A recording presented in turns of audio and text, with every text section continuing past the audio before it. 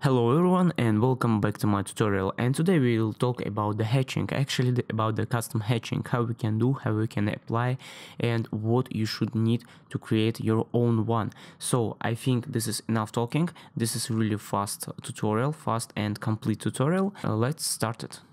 First thing first, you should understand if you're, for example, using like I'm using the visual style, this is hidden line, or your um, hatching, it will be gone, uh, it will come from the mm, materials. So let's check it out, what type of the materials we are using now, for example, for this floor. Let's go to the edit type, we will find here the structure, and you will find finish wood sheet let's open up it and you will see now on the under materials for the 2d graphics we don't have anything. So as you can see for the cut pattern yes we have some vertical things but the our for the our foreground we don't have anything.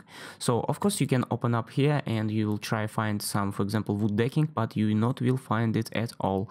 You should import it from the uh, after AutoCAD but you should know how to do that or you can create it right now in the Revit. Uh, so for the this uh, for this tutorial you need get the PyRevit. This is totally free. I will leave the link below this video. This is uh, really fast to uh, install it. For those who already have that, let's go to the uh, level 1, or I mean the level 0, and we will start from the our drawing. We will go to the annotate. Here we will find our detail detail line, and let's draw some somewhere here. This is only the boundary. It's nothing special. You cannot you if you don't want you cannot you can don't draw it, but I need it, for example. And after that, I need the drawing line. Let's draw one line from the uh, start to the finish. And this is 500, what exactly I want. I will do it one more time to make it really 500 millimeters. After that, on the middle, I will do one line here and let's copy it only three these lines i will copy it from that part middle of that here somewhere here. It doesn't matter. Uh, so I will copy that one to the 2500 millimeters. So it's here. Uh, let's do like this and here. And now I will select all these things and I will copy it with the multiply mode. So let's try to copy to the till the end. Don't use array. We will do it everything manually here. So I will delete all these lines and I will delete this line and I will that one I will do a bit smaller.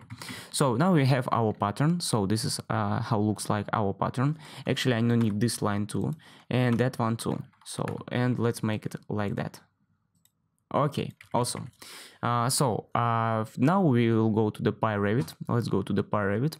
And here you will find the make the pattern. Let's open up the make the pattern. If you will do like this, uh, you cannot deselect everything. Uh, I mean, you should, uh, this is another way how to create the pattern. We will use like this. For example, I want create pattern from all these lines. So just select all these lines, go to the PyRevit, use the pattern and you will open up your make the pattern.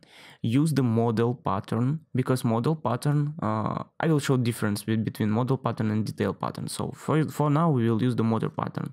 And let's say this is will be decking. Let's stay back uh, create the filled region. No we no need. Use the hide resolution. Yes. Okay so and let's create the pattern that's easy really. And now you should uh, choose the left bottom part and uh, right uh, highest part. So like we will do like that. And finally we did it. So as we want as we know we are using here the some special materials. So let's go and we'll check again. So so this is wood tree. Uh-huh uh-huh this one. So chipboard. And let's go to the pattern and we will change draft to the model.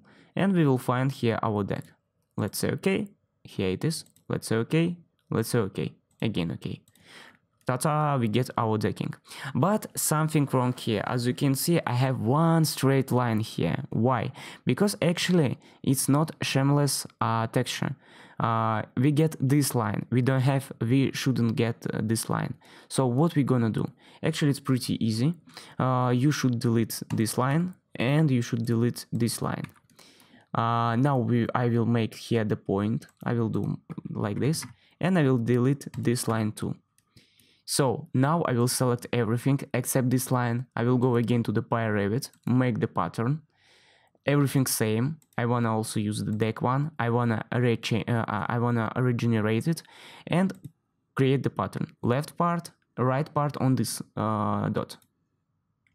Just a few seconds, done. As you can see, everything alright. Why? Because here the uh, now tiling working perfectly and we don't have any straight lines on our pattern. And why I did model? Because model you can uh, you can select your model as you can see I can uh, I can join to the my line on the model part and if I will go to 3D it looks like the real one as you can see. But uh, what we, we, will get if I will change the model for example let's say to the uh, draft one. Let's select again everything PyRevit and we will find here the pattern. Uh, now I will change to the uh, detail and I will say deck again. Uh, let's create the pattern. Again uh, lowest left side and highest the right side. Just a second done. So uh, let's go to 3d and now I will go to the material. So with material manage. Here is my materials and we will change our wood uh, sheeting chipboard to the uh, drafting one. So let's find here our deck. So it's here. Let's say okay. Let's say okay. So uh, it's just rotate but nothing changed. But if you will change your view it will change too so the drafting one, it's not for the static things. You should use the model, model one. But yes, it's pretty pretty cool. Uh, you can rotate uh, your view with your hatching, but it's not cool for your drawings. So for that things, of course, you should use the model one. Model one, it's static one, and uh, it's never will change the position. So let's do like this, let's do like this, and as you can see, it's really on the same position. Let's say you want to change position of your hatching. So what you can do? Actually, it's uh, pretty simple. Uh, you can uh, choose your line and you can drag and drop it right here. For example, I can use, for example, a line. If you want, for example, let's use the align uh, I will choose this line and I'll choose that line and you can align your model uh, hatching. This is pretty cool because uh, you can work it on the plan, you work can work it on 3D and you can make it more real.